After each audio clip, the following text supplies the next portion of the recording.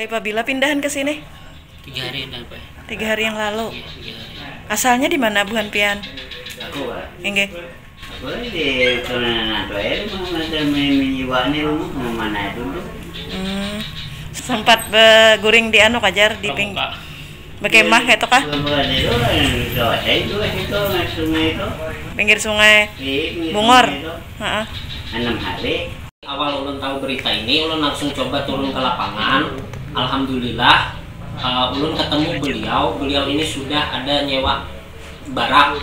Ternyata baya, uh, ulun lihat baraknya itu ada layak huni karena lantainya kotor. Singkat cerita kami pindahkanlah beliau ke sini. Nah selesai kami pindahkan ke sini kami coba open donasi wa- waktu itu diberi oleh donatur itu kita yang mengelolanya dengan ke- apa namanya keterbukaan laporan keuangannya insya Allah Nah, terus ke depannya nanti seperti apa?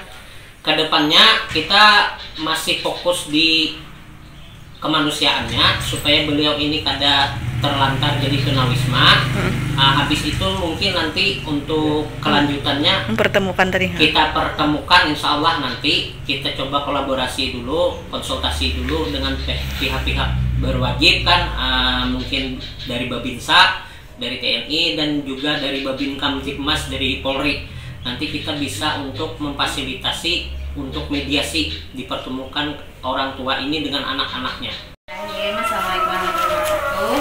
Ulun mewakili fraksi PKS eh, mengajak teman-teman semua semoga bisa membantu eh, meringankan apa namanya eh, perekonomian kaki dan nenek ini ya.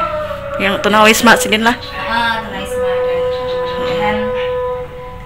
ke depannya eh, semakin banyak orang yang peduli terhadap ini. Diceritakan eh, tahu ini seperti apa? Mengetahui ada Eh, Ah. info ini ya. Heeh.